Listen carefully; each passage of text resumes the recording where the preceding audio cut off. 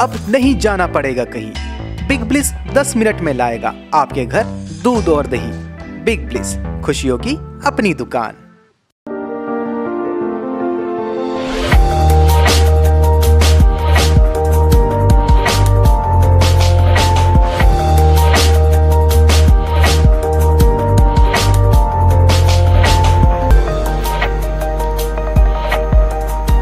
बात करते हैं पीपलिया मंडी में आज लहसुन का भाव कैसा रहा? तो बता दें, पीपलिया मंडी में आज नया ऊटी लहसुन का जो भाव है, वो एक हज़ार रुपये से छह हज़ार रुपये प्रति क्विंटल देखने को मिला है। साथ ही नया देसी लहसुन का जो भाव है, वो पाँच सौ रुपए से चार हज़ार रुपए प्रति क्विंटल रहा।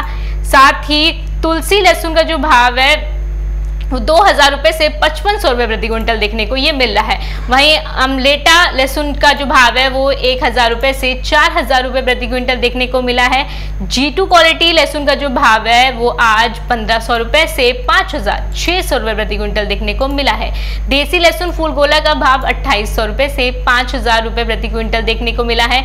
वहीं देसी लड्डू माल का जो भाव है, वो एक हज़ार रुपए से दो हज़ार रुपए प्रति क्विंटल देखने को मिल रहा है। देसी मीडियम माल का जो भाव है पिपलिया मंडी में वो पाँच सौ रुपए से पंद्रह सौ रुपए प्रति क्विंटल देखने को मिला है। अब अगर बाज़ार की बात करें तो आज पिपलिया मंडी में लहसुन के बाज़ार में आजकल की अपेक्षा आज बाज़ार ठीक ठाक देखने को मिल रहा है। तो मंडियों के हाल में अभी बस इतना ही और बड़ी अपडेट्स के लिए आप बने रहिए मार्केट टाइम्स टीवी के साथ। मुझे दीजिए इजाज़त, नमस्कार।